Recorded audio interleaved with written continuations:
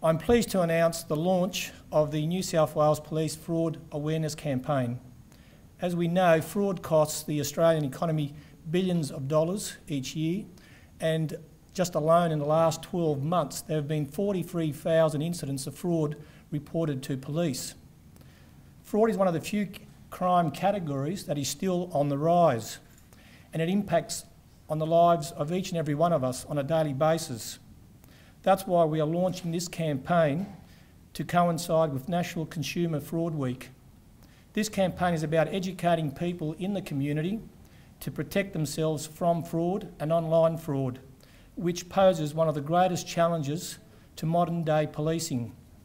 Our reliance on technology has created new opportunities for criminals. However, members of the community can greatly reduce the probability of becoming a victim by following some of the tips provided on the New South Wales Police website. Our aim is to equip members of the community with the knowledge and tools to make themselves less attractive to fraud offenders and other criminals who are operating online. It's important to remember that if it looks too good to be true, then it is. Protecting ourselves is the most effective step we can take to help combat fraud.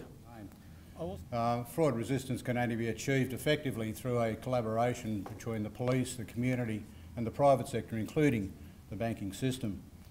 Uh, we encourage everyone uh, to take heed of the advice that they'll hear this week, um, but more importantly, uh, put that uh, advice into practice.